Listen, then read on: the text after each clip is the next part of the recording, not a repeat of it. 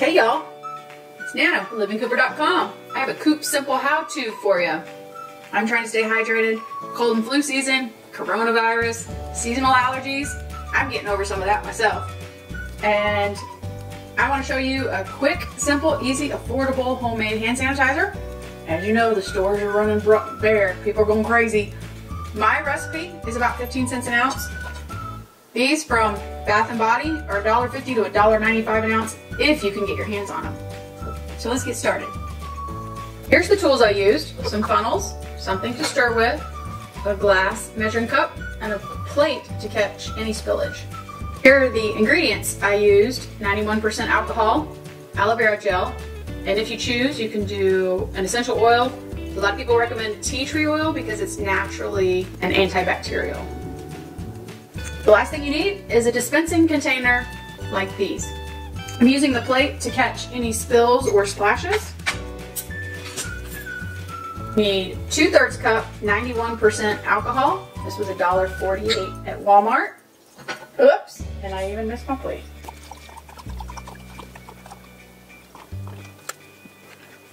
Aloe vera gel. We usually keep this in the fridge because we sunburn easily and living in Texas, we're in the sun a lot. This is $3.98. It's um, one third cup of the aloe vera gel. Put them in there, and then this one I'm going to make with eucalyptus.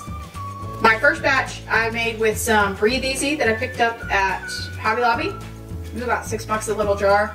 My second batch over here I made with the recommended tea tree oil. I do not like the smell of tea tree oil, so I'm not gonna repeat that.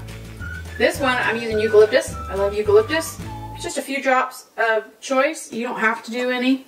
These are all flavors we had already laying around the house. And then you need to stir it up. I haven't quite found something I like the most, the best, because it needs to be stirred very well. One thing I really like about this homemade recipe is I don't have the little beads in it. You know, they were talking about how the micro beads that they put in all this stuff is hurting our ecosystem. I don't even, I don't know if you can tell, it's kind of a little bit it's still runny, but there's a little bit of the gel that's mixing, the jelly consistency, like hand sanitizer, duh. All right, then, so I think if you want to make it a little thicker, you can add more aloe. That's kind of a, a choice you make. Um, the alcohol obviously is the disinfectant. The aloe is the moisturizer that you're gonna get. I'm taking this tomorrow for church, for our Sunday school class pour it in here. Try my collapsible funnel. I think I'm gonna go ahead and make a second batch and then whatever's left over I'll put in the little portable one. And it'll hang tight. So two thirds cup alcohol and one bottle of alcohol makes three full batches and if you have several bottles of alcohol you can obviously add to it. Eucalyptus.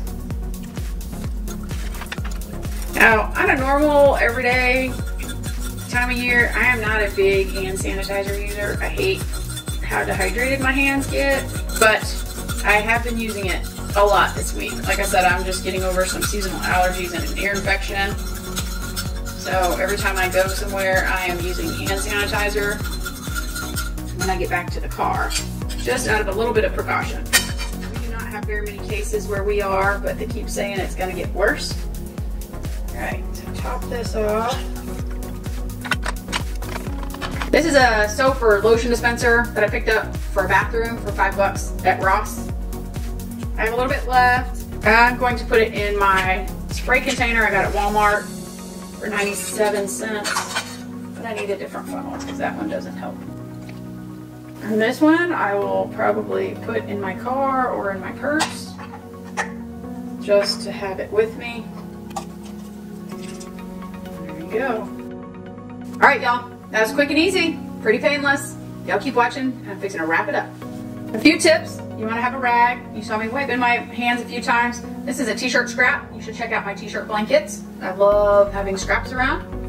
When I pour into some of these dispensers, I put it in a jar so it kind of stands up a little better. Kind of holds it a little better so obviously there's no flat bottom. All right, let's talk about how this stuff really works. So I made these two days ago, and I don't know how well you can see it, but they're a little bit separated. So you need to shake it up so the aloe and alcohol mix up a little better. This is just a spray bottle like you would use for hairspray or whatever. And I don't know how well you can see it. It's pretty jelly. Goes in pretty good. Dries pretty quick.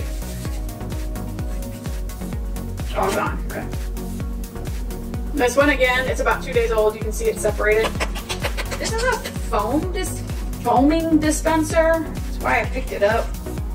For those of you that prefer a foam, I'm not a scientist. Obviously, it doesn't have foaming supplies in there, foaming ingredients in there. It works, it comes out. It's a mess. It comes out down here. This was overpriced and was not for this purpose, but if you can't find any other type of container, it'll work. All right, this one I made three days ago now. And I don't have to shake it anymore. There is still a little bit of residue on the bottom, but for the most part, it's all mixed in. And this is actually a double batch. And it's perfectly perfect. How you want gel dispenser to come out. It's very even. It seems to put out a lot. So just don't push the pump all the way down. Just do half a squirt if you don't need a ton. You just saw me make these just a few minutes ago. It's still mixed. No, I didn't prune it. There you go. Freshly made. The gel consistency is perfect for hand sanitizing gel. So I hope this video helped you out. Just a quick, easy DIY on some hand sanitizer. Gives you something to do while there's this madness going on. More important, get outside. Go enjoy the vitamin D. State parks are open. We went to Big Bend Ranch State Park this time last year. Absolutely beautiful. Whatever state or country you live in, go out in the great outdoors. Enjoy the sun. It's good for you. It helps make everything better. Hopefully this video is helpful to you. Create your own scented hand sanitizer if you don't like other scents or you can't find any on the shelves. If you like this video, please give me a thumbs up. If you didn't, you can give me a thumbs down. Either way, please leave me some comments. Leave me some suggestions, some videos you'd like us to make. Travel, review, DIY, home improvement, just kind of anything. Also, if you don't like this recipe, if you have a better recipe, if you'd recommend a different recipe, leave those in the comments because that could help people out too. I chose this recipe because it's the most shared recipe in my Facebook group my friends and family, everybody sharing this recipe. That's why I chose this recipe. Let me know about the recipe you prefer. Please check us out on social media, Pinterest, Twitter, and Instagram. We are at Living Cooper. Check out our blog, livingcooper.com. Most importantly, please subscribe. We appreciate all the subscriptions we can get. Check out our other videos and share them, as well as hitting that notification bell. Y'all keep watching. I don't know what else you want me to do. Well, pick it up and, no, no,